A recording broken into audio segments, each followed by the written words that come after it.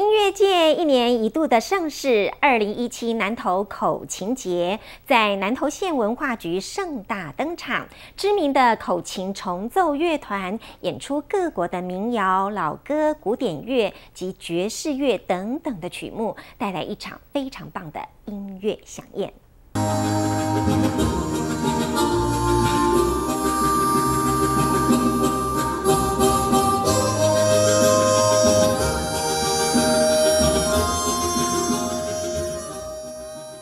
南投口琴节自二零零五年办理至今，已经迈入第十届。以张和国小为中心学校，在地传承，形成一股风气。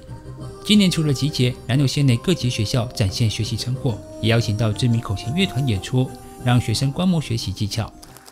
我们南投的口琴可以算是全国呃具有指标性的一个县份。因为呃很多地方他们虽然也有不少人在吹口琴，但是呢都属于呃个别式的个体户比较多。那我们南投因为有一个口琴协会，那同时呢呃我们啊透过漳河国小作为一个呃种子学校，那培育非常多的老师。那么漳河国小也是在历任校长的推广之下啊渐渐有了基础。那么我们漳河国小是。啊，承办南投口琴节的主办学校啊，那我们也广邀了大概有十四个表演的团体，好，希望借由这样的一个活动，让孩子有更多的表现的舞台。南投口琴节活动总召集人郭家元表示，希望借由口琴节的活动，让艺文走入生活，大家都能够享受到音乐的熏陶，也能够提升县内艺文气息。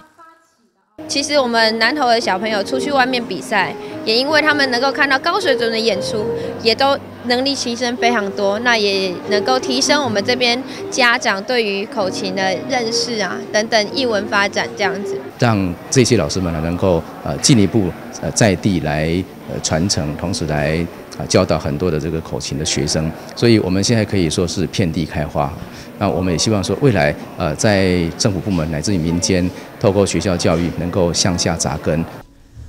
南岛口琴节原由在九二一大地震之后，由李孝明老师引进校园，陪伴学生走过重建岁月，用音乐抚慰人心，已经已经超过十多个年头，每年培育出数以千计的学生。